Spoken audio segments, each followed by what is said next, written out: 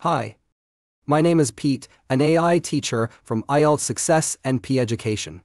I am going to help you give the best answers for IELTS speaking forecast so that you stand a golden chance to get band 8 or above.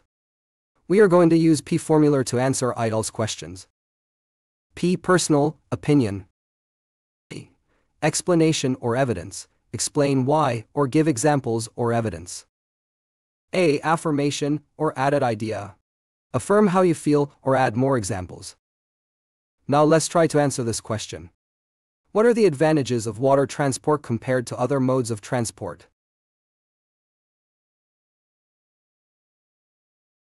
This is a model answer from IELTS Success. Listen and repeat. Water transport has several advantages over other modes of transport, especially for certain types of goods and long distance travel. Some advantages of water transport include its ability to carry large volumes of cargo efficiently, especially bulk goods such as minerals, grains, and petroleum products. Water transport is generally considered more environmentally friendly compared to modes like road or air transport, as it produces fewer greenhouse gas emissions per unit of cargo transported.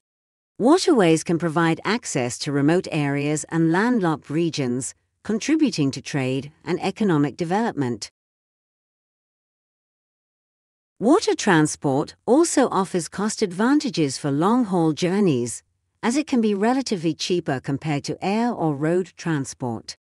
Additionally, water transport can reduce road congestion, as it takes trucks off the road and helps distribute cargo efficiently between coastal or river ports. Let's learn some useful expressions. Water transport. Carry large volumes of cargo efficiently. Bulk goods. Landlocked regions. Take trucks off the road. Now it's your turn to answer my question. What are the advantages of water transport compared to other modes of transport?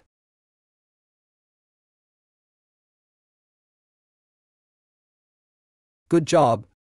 Subscribe and follow IELTS Success and PEA Education channel for more useful suggestion. I am Pete from IELTS Success. Love you and see you again.